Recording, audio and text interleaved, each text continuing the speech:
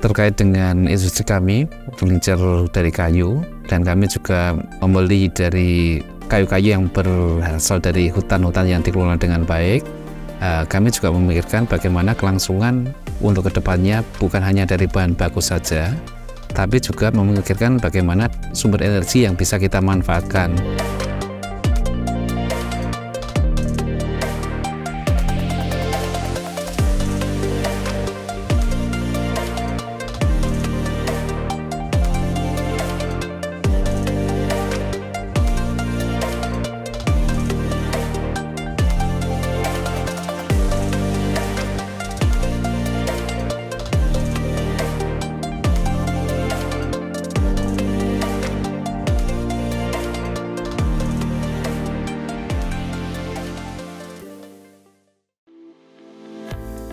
Bergerak di bidang furniture kayu dan memang disyaratkan untuk peduli dengan alam. Alam harus diperhatikan. Salah satunya memang selain bahan baku ya tadi energi ya, energi sehingga uh, PLTS ini kita harapkan bisa membantu kami untuk mensuplai power yang ada di tempat produksi sehingga listrik kita bisa terbantu juga.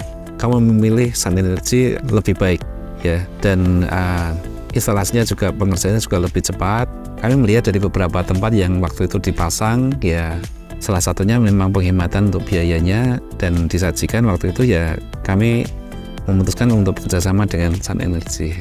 Tentunya dari sumber energi ya dengan adanya pemasangan PLTS ini nanti ya juga harapan kami bisa menjadi alat promosi kami juga nantinya ya bahwa kami juga memperhatikan uh, selain bahan baku kami yang bersumber dari alam yang uh, terkelola dengan baik juga kami juga memikirkan bahwa energi yang kita gunakan juga uh, dari energi-energi yang terbarukan.